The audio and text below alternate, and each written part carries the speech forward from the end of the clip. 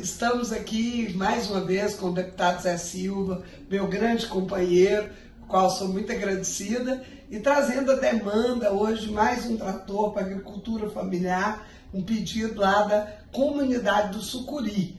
E também agradecendo, deputado, os outros trabalhos que o senhor atendeu lá em Unai.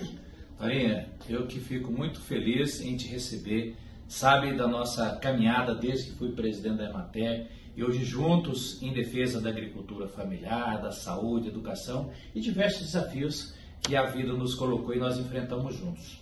E pode ter certeza que eu estaria atendendo essa demanda sua. Todos sabem do meu compromisso de trabalho, de vida e do mandato com a agricultura familiar e comemorarmos juntos equipamentos, implementos agrícolas para as comunidades de Almesca, da Igrejinha Canabrava, da Santa Clara, São Sebastião, Palmeirinha, da Boa União. Pode ter certeza que isso é só para começar. Nós vamos fazer muito mais juntos, né? Muito obrigado, Vamos deputado. Grande abraço.